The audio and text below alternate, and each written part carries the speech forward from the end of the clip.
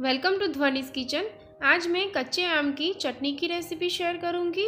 ये चटनी बहुत ही जल्दी बन जाती है और इसे हम फ्रिज में थोड़े दिन के लिए स्टोर भी कर सकते हैं।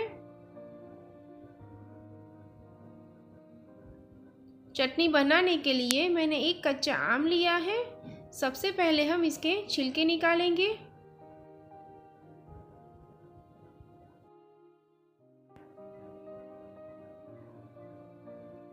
अब हम इसे घीस लेंगे।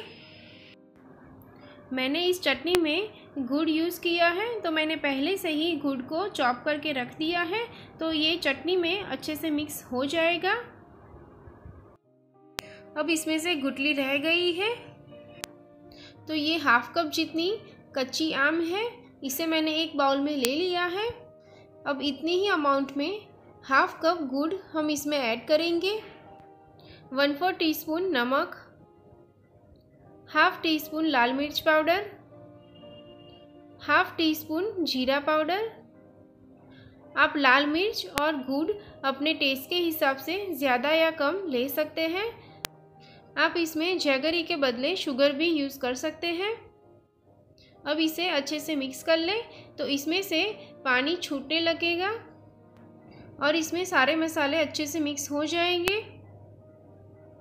तो ये चटनी तैयार है, मैंने इसे एक बाउल में निकाल लिया है।